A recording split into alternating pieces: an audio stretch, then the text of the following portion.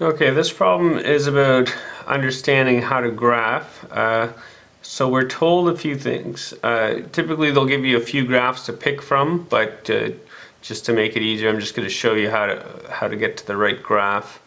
Uh, you know, just given the information so then you can figure it out uh, when you actually see your choices. So we're told about the, the temperature. So the time is 6 a.m. and the temp is 60 degrees Fahrenheit. And then they said the temperature rose uh, rose steadily uh, until it reached a maximum of 85F at 3 p.m. So at 3 p.m. we've got 85F. And then the temperature drops steadily again and so that means uh, it dropped to 60 degrees F at 6 p.m. So these are kind of the points on your graph you have to know. So you got the time, you've got the temperature. So we'll just uh, show how to plot that quickly. So we'll say we'll start our graph at 6 a.m. because that's the start of our time. And we'll end it at 6 p.m.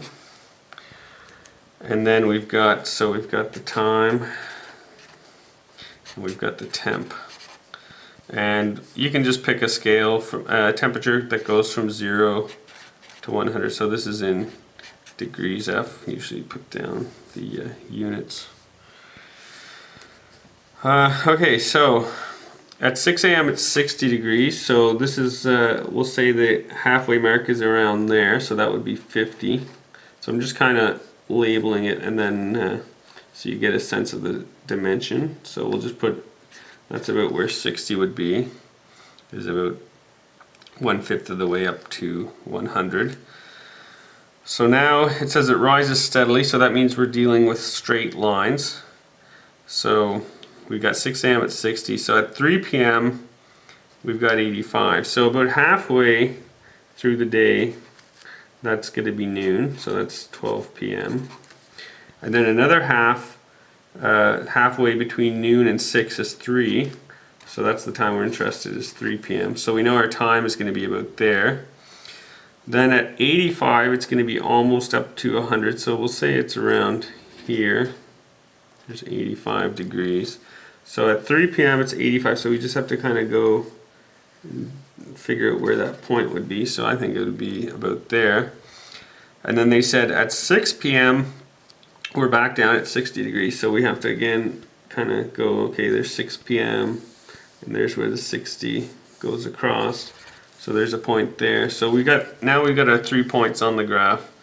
So since it's a straight uh, steady increase it's just going to be a straight line between the points so you just connect the dots. So that's going up and then it goes back down so this is kind of how you plot it. So on the uh, the test, they're going to give you some uh, graphs that maybe don't make sense. So they might give you a graph that looks like this, and then you know it goes back down. So the problem with a graph like this is the starting temperature is wrong, and also the time when it peaks is wrong, and just based on the way I graphed it, it's higher than 85 degrees. So you have to be able to look at the graph and read the points and decide, well, you know, it's 6 p.m. here, but it looks a lot lower than 60, so that doesn't work. And it's 6 a.m. here, it's a lot lower than 60. And then this point is way before 3 p where 3 p.m. would be, and it's way higher than 85. So you, so you can kind of tell which graphs work and which ones don't. And, and you know, you could have another graph that kind of goes and it peaks at 12 p.m.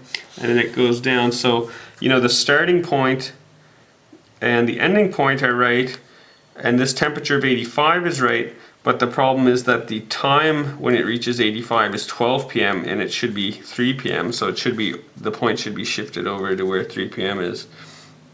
So basically you just have to know how to set up a graph and plot it and then you can kind of read the points and figure out if it matches uh, some of the examples that you might see on the test and then you just pick the right graph that matches.